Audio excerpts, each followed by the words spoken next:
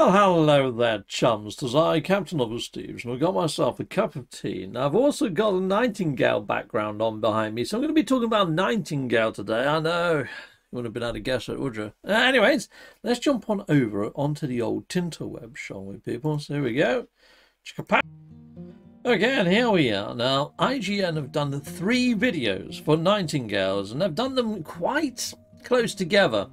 Now, what I would say is this video here, the giant boss fight, goes on for some time. As you can see, I've only watched like a quarter of it. But this video here gives the synopsis of that fight and what actually took place in it. And it also talks about this video, which is the 20 minutes of gameplay. So out of all three of these, I think the only one I really need to play you is this middle one. So let's hit this up and let's take a listen, people, shall we? Okay, let's hit play. I learned so many intriguing things about Nightingale during my visit to Inflection Games that it'd be impossible to unpack everything in one short video. So I won't, but I will hopefully shed some light on the setting and gameplay loop. Nightingale isn't necessarily the game you'd expect from seasoned ex-BioWare devs, but the years of experience behind its ideation is evident in what I saw in more than 6 hours of gameplay, a stylish take on a shared world survival crafting RPG. I love the skybox. Wow. The world of Nightingale is similar to our own in the 1800s. However, in this alternate reality, the Fae appeared in the 1500s to share their knowledge of magic with humans, altering the path of history and spurring the birth of the magical city of Nightingale. Nightingale begins with a short prologue introducing the world and setting the stage for the opening moments. A mysterious phenomenon known as the Pale has foggily swept over the entirety of Earth, putting everything it touches into a state of suspended animation. The only human city left is Nightingale, but the magical portals to get there have malfunctioned, cutting off access. Actually, the entire system of portals and Fae realms have been thrown into chaos, tossing the human realm walkers, including you, around with it. The story and setting loosely glue your overarching objectives together and serve as a curious jumping off point into the world and gameplay. Alongside you on your journey back to Nightingale is Puck, who explains much of the way of the world as you progress. But beware. In short time, darkness will descend. Instead of assigning small tasks one after the other over and over again to serve the story, Nightingale allows the player freedom and space to grow curious enough to come up with their own goals. It's a not so uncommon trait among survival crafting games, and it's just one reason why Nightingale is so appealing to me. In the beginning, players need more short-term, explicit goals to help them get going as a sort of tutorial. As you follow Puck from realm to realm after fleeing the Pale, he instructs you to do very basic survival crafting trope tasks. And yes, even though there is magic, the developers wanted to keep it more grounded. You can't just conjure stuff like a campfire out of thin air. Magic exists for humans in a system of enchantments. Collect materials and craft to be able to perform magic, but only while wielding the weapon with the enchantment.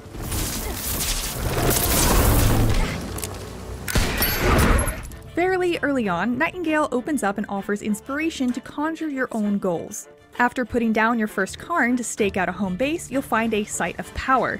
These mini dungeons of sorts are only unlocked if you meet the power requirements, which you can achieve by a variety of means. After unlocking and completing the Site of Power, we earned a new major realm card recipe. Realm cards, basically, are used in combination to open portals to new realms.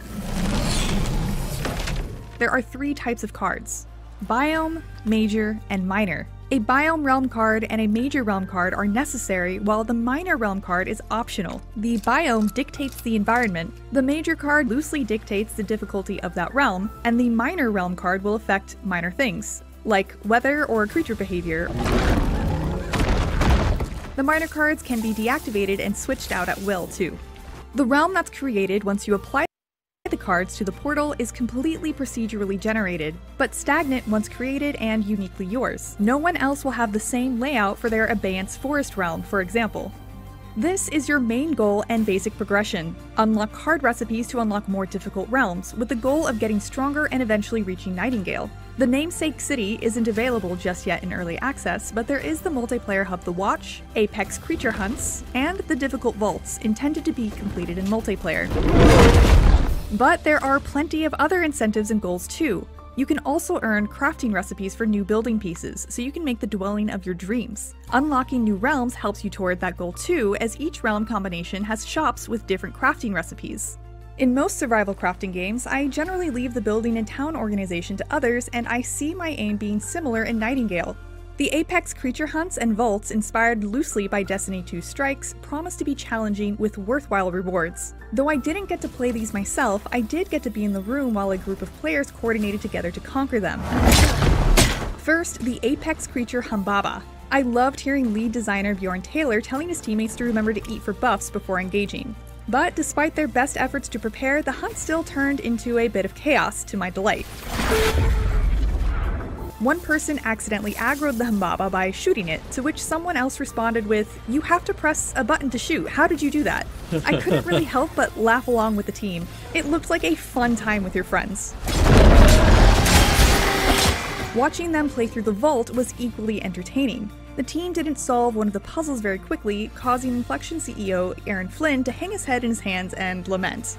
To their credit, the vaults are procedurally generated, so the layout is never the same. Eventually, they succeeded, moved on, and tackled the apex creature at the end of the dungeon. All in all, the gameplay loops of Nightingale look flexible, engrossing, and fun, though I am mildly worried about how much attention the base building can keep of my crafty friends. I'm unsure of what else there is to do or maintain once it's built the way you like, but I also perhaps don't fully appreciate the amount of time and effort it will take to unlock the recipes needed to create your dream home. Of course, I do suppose creatures can also come wreck things and force you to build anew, too. Ah, the joys of survival. Nightingale is being released in early access on February 22nd. For more on Nightingale and everything else, keep it here at IGN. Okay, Jum, so I've got the 20 minutes of footage playing in the background. Now, there's a couple of things as takeaways from what she was saying there. Now, I was doing beta testing, and I would say that a lot of what she said there is very much on point to what I actually experienced in the beta, but from this 20 minutes of footage in the background that's playing right now, I can tell you that it's moved on leaps and bounds from when I was doing the beta testing. It looks freaking sublime. I mean, it always did to a certain degree, but it looks like they're using the latest version of the Unreal Engine now, and they, they were using Unreal Engine 5 in the beta, but this looks like it's gone up a notch somewhat from what I experienced, and it's beautifully sort of being realised now. Now, something I also noticed is the wolves, when they went to attack during her footage, they actually leapt up so you could hit them quite easily. Before, a lot of the time, they would stay at sort of waist height and attack you, which it was very difficult to get a strike on or to make it feel like you had actually made a connection to them. What I saw from the footage there, this combat has been enhanced somewhat. Now, I didn't get as far in as making a bench where I could actually put magics or enchantments on my weapons. To be honest, I spent most of my time gallivanting around, looking at sort of the actual atmosphere, and just building little campsites fricking everywhere I went. Yeah, I was just going out and exploring. I didn't invest too much time in building a homestead, but I can tell you that when I did on my very first playthrough, this is right back, right, right, right back into the beta testing phase, I built a small little platform, put up a couple of walls, and that took me quite a long time in the grind of cutting down trees and doing stuff to actually build that little um, shed if you can call it that. I didn't even get a roof on it because it was seriously taking me a long time to get all the resources I need. You see, like how she's grabbing stuff in this footage behind us. You couldn't just do that before. You had to hold the button down and pick it up. They've made it a seriously lot quicker in resource gathering. And also, when you was hacking down trees before, it took a lot more swipes to hack down a tree. It they've sped everything up when it comes to resource gathering. And a lot of the feedback I think they didn't just get from me, but also from all the other individuals inside of beta was resource gathering could do with a little bit more of a rebalance. And it looks like they've done exactly that. And some of these actual buildings that we can see that they've built inside of some of the footage that we saw looks like there's all different styles implemented now, like Japanesey type style buildings and all sorts of stuff. It looks freaking awesome. So I managed to unlock wood, but I did see stone structures being built on the Discord. We were sharing pictures and images from our plays, and I saw people have built some pretty darn awesome stuffs out of stone. I didn't get that far inside of my crafting.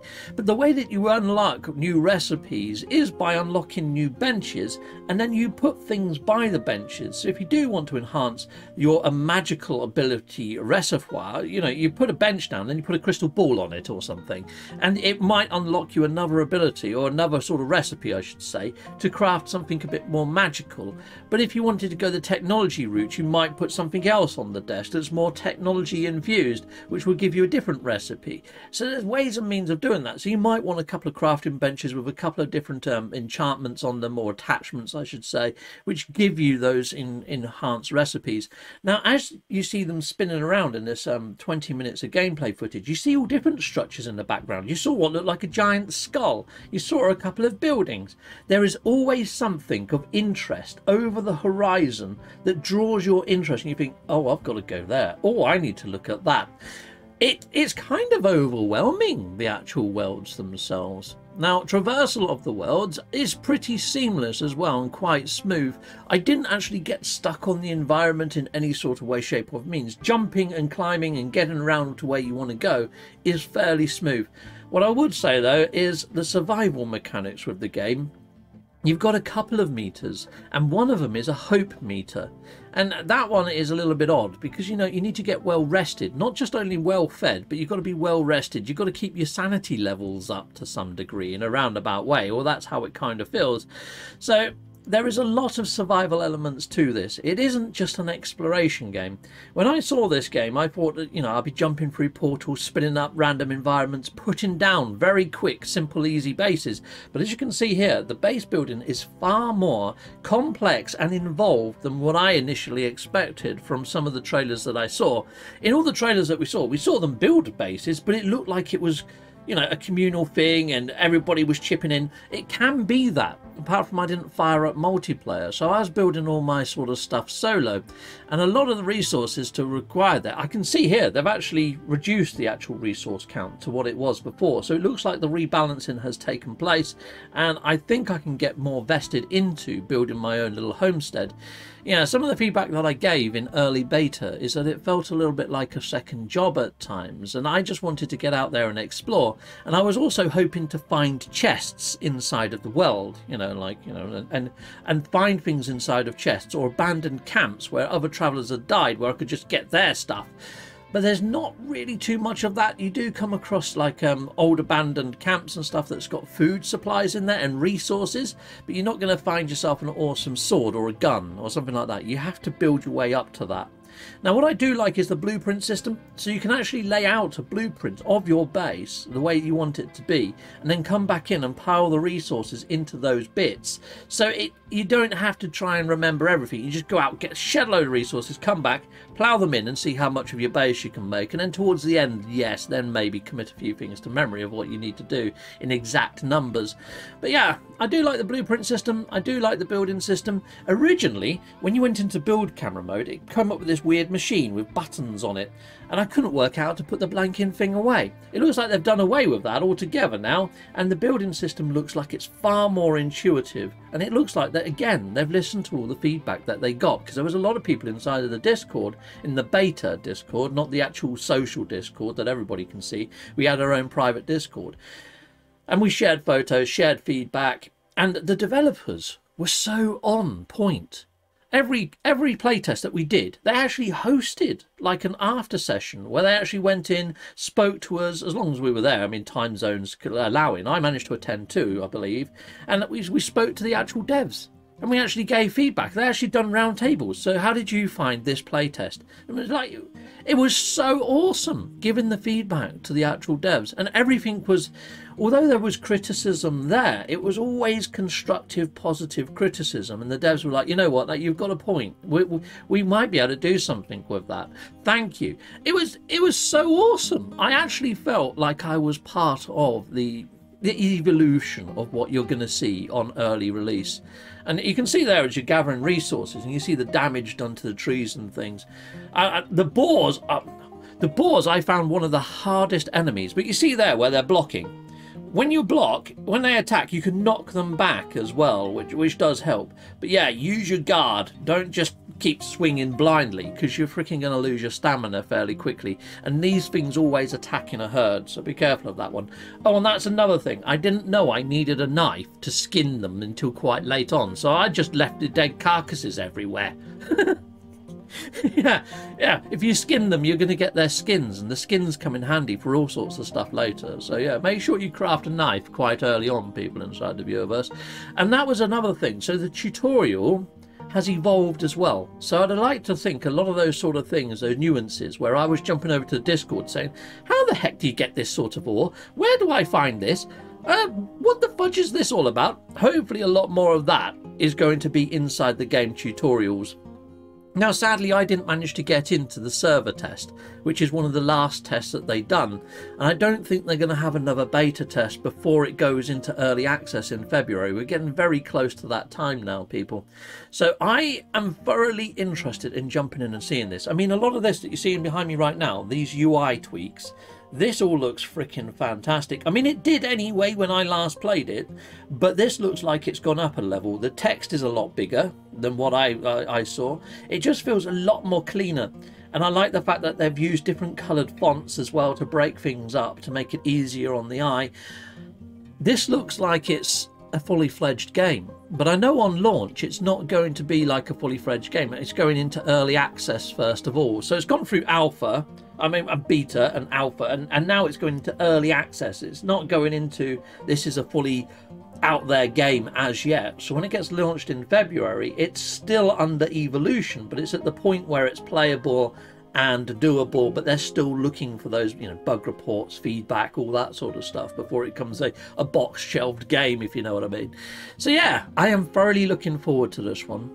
Um, for multiple reasons. I love the fact of the portal system. I think that's real that's a real new sort of idea, and the fact that you spin up a procedurally generated instance on the opposite side the fact that every time you do a raid or whatever on a dungeon, it's going to be procedurally generated, that dungeon. It's never the same layout. And the fact that the raids are going to be a bit more like Destiny and you're going to be getting loot and things in there that's worthwhile in doing and you're going to come across a boss fight in there, it ticks so many boxes for me, people, this game. The only thing that I feel that I still need to understand with this is can I play it live? because a lot of it, as what you can see here in the 20 minutes gameplay, is walking around a tree smashing the heck out of it. How long are people inside of my live stream going to want to watch me cutting down trees, as awesome as it does look? I mean, yes, it's great for the first maybe three to four trees, but after you've done like 10 of them, how much of the audience is still going to be there? So, live, I think the only things that I'm going to do live is raids and things of interest. Or after I've gathered a shed load of resources, maybe then do a build video. But yeah, it, it's going to be an odd one to actually bring entertaining content to the channel. I mean, I, I can do pre-recorded bits, put all my best bits together and all the action-packed bits, all the funny bits, all that sort of stuff, and make a video. Not a problem. It's just the live content, how I go about delivering that. And I think the best ones to do live is like I say, raids and things like that, boss fights, challenges, that sort of stuff. Unless I've got a, like I say, a bucket load of resources and do a build. But anyway, people, I hope you're looking forward to this one. I know I am. It's firmly set in my radar. It's got my eye peepers interested. And yes, you know, I've already had that little mini insight into this. So yeah, it's definitely something I'm going to be picking up day one, and I hope you do too. And yeah, check out these uh, videos that are on side IGN. I'm going to go and watch the rest of that boss fight that takes like 20 odd minutes or whatever. Um, but inside of that little mini video that I played you, she mentions that it doesn't go too swimmingly. it's one of those Leeroy Jenkins type moments, isn't it? Yeah, I'm going to go watch it to see if it makes me chuckle. But anyway, people, put this on your actual radar. It's only being released on PC at launch um, because it's going into early access. After it's gone through all early access, the rumblings that I heard from the devs is they would love to bring it to other platforms. It's just will this get the attention it needs? Will it actually pick up enough to make them want to bring it to the other consoles? Is it going to go fully fledged as a game? Let's see. Let's see what the community thinks on this one. But because it's steampunk orientated, because it's got all those procedural elements, because it's got giant megafauna in it, and it's got raids, and it's got awesome multiplayer, and it's also got base crafting and survival, there's got to be something amongst those that ticks one of your boxes, if not one or two of them, you know? So for me, this ticks a lot of them, and yeah, I, I hope it gets enough sort of traction and mobility and, and all that sort of good stuff to bring it to all the other consoles because I think this needs a wide berth and it'd be lovely if they could bring in crossplay or something like that at a later date and get it so everybody can work together, be them on Xbox, be them on PC or PlayStation. If it comes to those platforms, you know, I can't put it out there as being gospel. It's just, I know that that's a want. I know that's a want. I don't know whether it's going to come to full fruition, people. But yeah, you can make it happen perhaps by jumping in, wishlisting this game on Steam, picking it up day one, jumping in and supporting Inflection Games with their new sort of IP. I mean, these are bi- ex BioWare guys. Yeah? BioWare done freaking awesome games. And this is an awesome game. I think this one has got the recipe to become a cult classic. I think this is going to, and because they listen to their community and they implement things, make sure you get on their actual social discord and and share feedback you know because they do listen and they do change things up. I've seen it happen with my own eye peepers anyway people until next time goodbye goodbye and goodbye again